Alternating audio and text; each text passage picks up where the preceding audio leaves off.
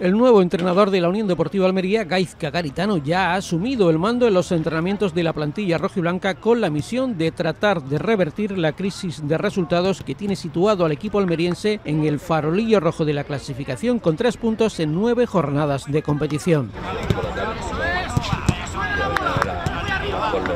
El técnico vizcaíno, nacido en Derio hace 48 años, ha asumido el reto que no resultará nada fácil de reflotar a un equipo que ha dado claros síntomas de excesiva debilidad defensiva en este primer cuarto de la Liga IA Sport. Y para ello ha firmado un contrato por lo que resta de temporada, 29 jornadas de liga más la próxima campaña, es decir, hasta el 30 de junio de 2025.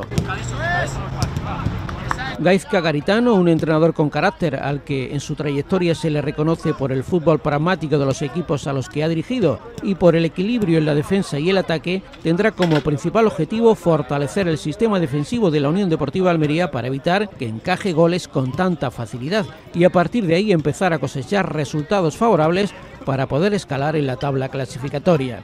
Recordemos que Garitano inició su carrera como entrenador en la Sociedad Deportiva Eibar, equipo al que consiguió ascender de Segunda B a Segunda A y de forma consecutiva la temporada siguiente, en 2014, tras proclamarse campeón de la categoría, ascenderlo a Primera División. También entrenó en primera al Real Club Deportivo de La Coruña en la temporada 2016-2017, aunque seguramente su etapa más recordada fue en las filas del Athletic Club de Bilbao. Siendo el entrenador del filial, asumiría la dirección de la primera plantilla tras la destitución de Jorge Berizo. Permaneció durante tres temporadas en el club de Lezama, al que siempre clasificó entre el octavo y el décimo puesto. En este primer entrenamiento realizado en el campo anexo del Power Forest Stadium, Gaizka Garitano pudo contar con 20 futbolistas, ya que además de los lesionados de larga duración, Luis Suárez y Marpovil, Lucas Robertone y Edgar González, con sendas dolencias musculares, entrenaron al margen, mientras que Jobulán Méndez, César Montes, Dion Lopi e Ibrahim Akone se fueron a las convocatorias de sus respectivas selecciones